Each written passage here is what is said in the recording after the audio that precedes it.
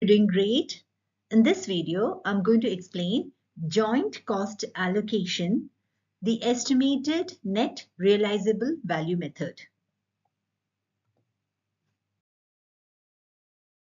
The scenario is the same which I have used both in my physical unit method and sales value at split-off method.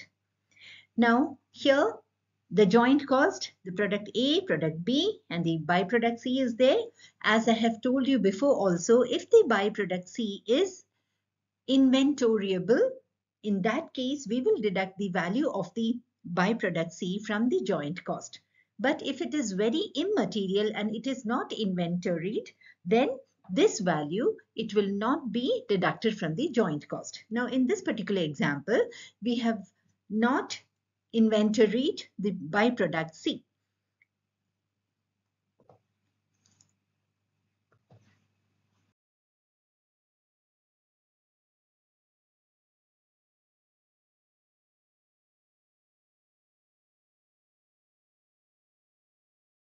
Here in this slide, I'm, tell, I'm explaining how to allocate the cost using the estimated net realizable value method.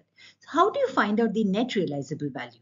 The formula for that is final selling price per unit. Please students make note of this. It is not the selling price at the split off point that you have to use. You have to use the selling price after the pro further processing cost.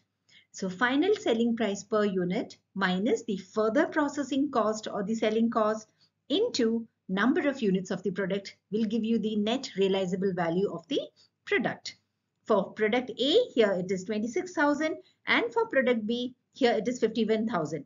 Please observe carefully that the final prices have been taken. Final selling price 20 for product B and 17 for product A.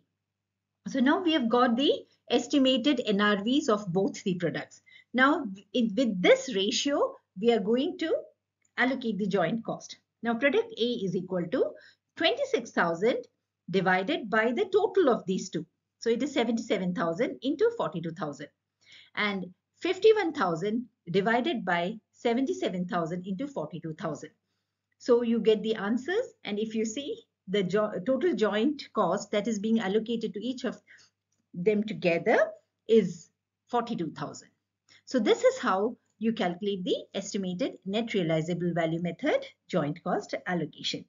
Now in case you have any doubts please do mail me. If you have any questions which need to be clarified, you can definitely mail to me at the address given on the slide.